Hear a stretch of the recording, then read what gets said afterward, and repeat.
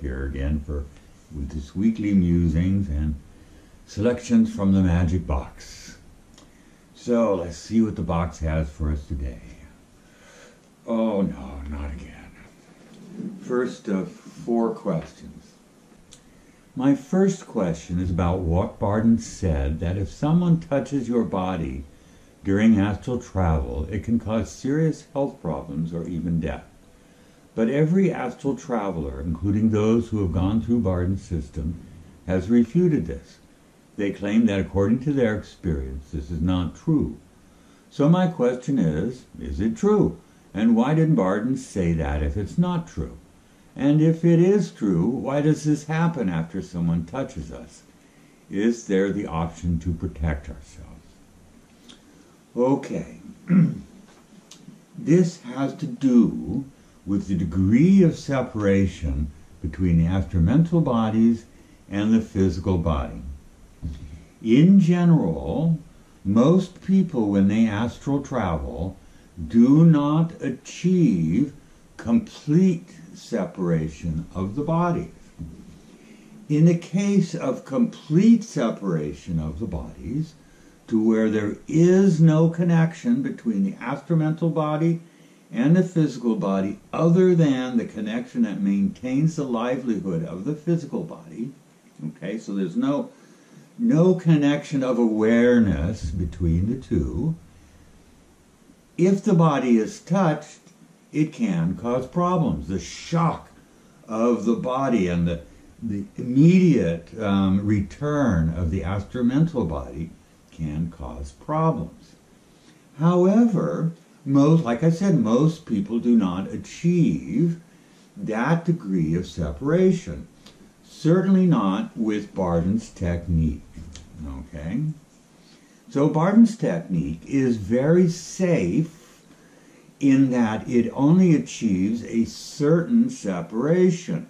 There is almost always some connection of awareness between the astramental body, which is out wandering, and the physical body. Okay, this is normal mental or astramental wandering. However, there are people who are so naturally gifted in astral wandering that they can uh, inadvertently achieve that degree of separation. So, hence Bardon's warning. So that you know he had no no idea who was going to be reading his book and what their level of ability may be. So, much better to put the warning in and have one be cautious and test it for themselves than just blindly go about it and risk hurting themselves. Okay? So, to protect yourself from that occurrence, you maintain a mild or even larger than mild connection between the astramental body and the physical body. And this is a, a sensory connection. Okay. question number two. My question is if it is possible to mental astral travel not only in the macrocosm, but into the microcosm too, like to our own inner world. And if you have any experiences what is the difference between these two travel methods? Maybe it's called lucid dreaming, but I don't know if it is the same thing. Okay, you're correct. Lucid dreaming and dreaming in general is an astramental travel inside of one's own psyche. Okay? It, it, it, everything occurs within one's own psyche in both lucid dreaming and actual dreaming. Now, lucid dreaming can develop into actual astral wandering, but that is something more, okay? Um, that this is the problem that I have with lucid dreaming because it's all within one's own psyche. It is not astral travel, and a lot of people think of it as astral travel, and it's not true astral travel. Okay. Um, third question. There are different opinions on the recommended ideal length of sleep, Experts recommend five to six hours, 67 hours, 78 hours, or even more. Do you have any knowledge about the ideal length of sleep that you would like to share with us? In my opinion, the ideal length of sleep is the length that you of sleep that you get when you go to bed and fall asleep and then when you wake up naturally without an alarm, okay? That gives you the natural length of sleep that you need in any given moment. It's always changing. There is no one set natural required amount of sleep. All bodies are different. We vary from day to day, week to week, month to month, year to year. Okay? So. Okay, fourth question. It's a rather long one. I wanted to ask about tarot cards, the I Ching, and similar tools. When a person shuffles a deck, asks a question, and draws a tarot card, for example, is there significance to the card being drawn in that moment, in that that particular card happened to be drawn instead of another one? What is the nature of that significance? Does that card hold a better answer to the question that was asked than any other card that could have been drawn? If you believe that the card that has that was chosen holds this kind of significance, how is it that just the right card happened to be drawn?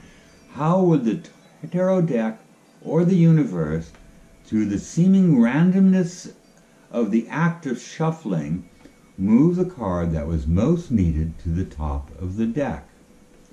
If this synchrony that I am asking about exists, to what extent does this occur in other events we experience in our lives?